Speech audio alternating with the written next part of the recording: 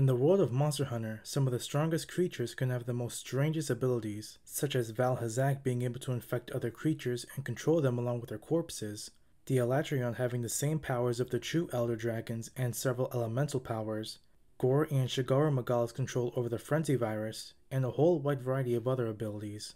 These abilities are oftentimes why a monster is referred to as so powerful in the universe, why they almost never have to fear being hunted, but you don't need to have some wild, crazy ability to be strong. You don't need a special power to be seen as one of the most feared hunters in the old and new world, in Kamura and Elgado. Sometimes a little can go a long way. Today I'm going to be talking about the simplicity of the Tigrex. At first glance, you can think of the Tigrex's design as simple. The body of a quadrupedal wyvern, color scheme of a tiger, and the head of a tyrannosaurus. Not as intricate or complicated like the designs of other monsters throughout the series. But with these three choices, it's more than enough for it to live a long life in a dangerous world of Monster Hunter. The Tigrex is described as nomadic. Unlike other very territorial monsters like the Alatreon living in a sacred land, or a solitary monster like the Valstrax living above the clouds. In several cutscenes of a lot of the games, it can be seen hunting around in a variety of biomes, like the Frost Islands or hunting around in a hot environment like the Sandy Plains. Its simple wyvern body is what helps regulate its body temperature.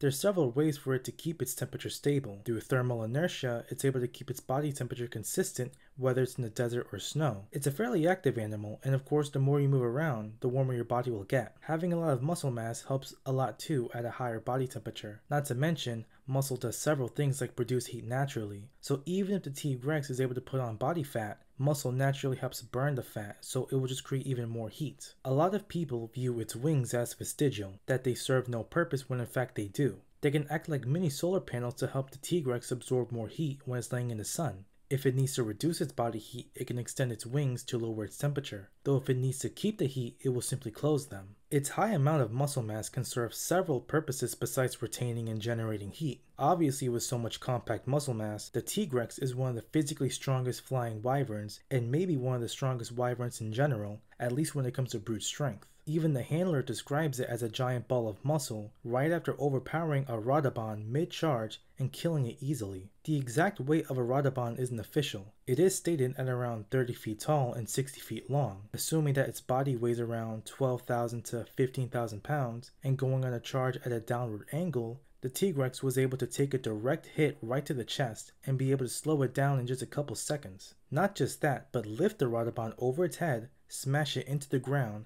casually restrain it, and easily kill it. And it was still in perfect condition to fight the hunter afterwards. Its T-Rex head, which is of course the second half of its name, also plays into the simplicity a little bit too. And of course, it's what it uses to bite down on its prey.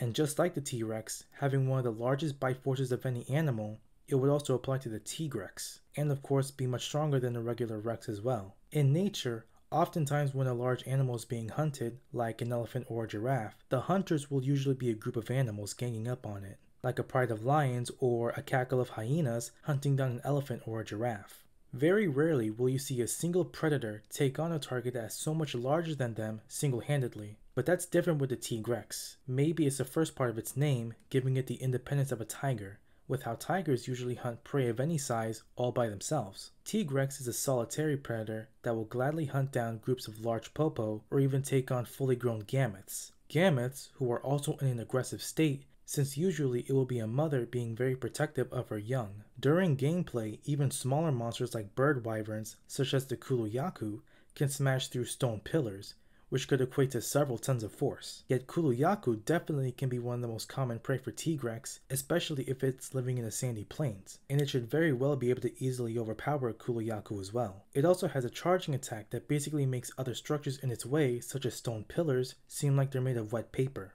Most monsters have some sort of a range attack, like Magnamalo's Hellfire ability or Valstrax's Dragon Energy Beam, but the Tigrex's simple form of a range attack is literally just chucking rocks at the hunter, which is pretty funny to me, but also rather effective too, and pretty accurate. And just like most monsters, this one also has a second phase, which is just a simple rage mode becoming stronger, faster, and tougher. Through controlling its own heart, it can accelerate its circulation many times faster, pumping blood more intensely, making the muscles harder and stronger, and making itself tougher and faster. Its blood pumps so fast it literally starts steaming, and its veins are visible even through its thick hide. But thankfully, it's just a short burst. One of the more signature abilities is also its roar. being so powerful that it can literally knock out a quarter of your health, even with good armor. And we're lucky that it's just a short range, as even a normal roar, which is basically what every monster does when it spots you, still does heavy damage. It's able to pull this off with having an enlarged larynx and forcing air out like a giant huff. In its turf wars with other monsters will you rarely see being overpowered, as physical strength is literally its main ability. It even has a subspecies called the Brute Tigrex, which is even much stronger. I'm honestly surprised why it's classified as a Brute Wyvern, but I get why it's classified as flying. I feel like the Tigrex is a great monster for newcomers, literally because of its simplicity. It can teach the hunter how to block, dodge attacks, counter, get used to roars, dodge projectiles, fighting off amp states that so many monsters have. It's an amazing and fun hunt. The armor and weapons are great despite not having any elements attached to them, and just like the Tigrex's physical strength, the strength on the weapons are insane, and they're not even enhanced with things like poison or dragon energy. Its turf wars are so entertaining too. It's like watching two wrestlers trying to powerbomb each other over and over. Its way of fighting is so fun since it just uses simple brute strength instead of some unique style. There's just a type of charm to this creature. I think that the Tigrex is a perfect example of simple being better. Its simple design, which is also described as being prehistoric, and simple abilities benefited so much that it doesn't need some weird mutant X-Men hacks ability. It doesn't need to be able to cut through space-time and absorb energy from the earth. It relies on its muscle, it relies on its simplicity, and that's all it needs. The little does go a long way, and despite how simple it is, the creation behind it is simply genius. Let me know what you think about the video, so like, comment, and subscribe. I have the links to my webcomic Celestial Guardians Cosmic Quartet in the description, links to my other socials as well. Thanks for watching.